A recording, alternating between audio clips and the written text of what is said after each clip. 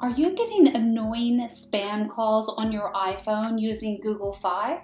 Well, I have the fix. When you have Google Fi as your carrier on an Apple iPhone, there are actually two settings that you need to update to stop these robocalls. I will show you exactly how to stop spam calls on iPhone and Google Fi in two steps.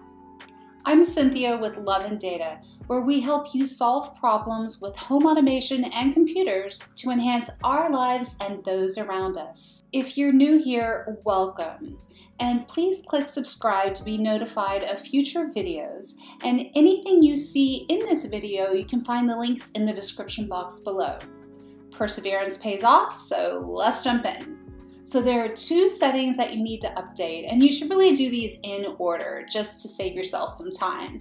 The first one you need to update is in your phone settings. So click on Settings, and then scroll down until you see the green icon that says Phone. Okay, and then scroll down to where you see Call Blocking and Identification.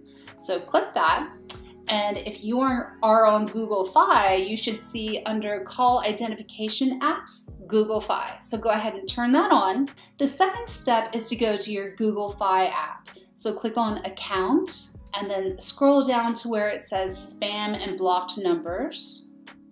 And the second option down is block spam calls. So go ahead and turn that on. Click here to see this video on how to fix iMessage texts on your iPhone using Google Fi, especially after an iOS software update. Especially after an iOS software. Thanks so much for watching and I'll see you in the next video. Click here.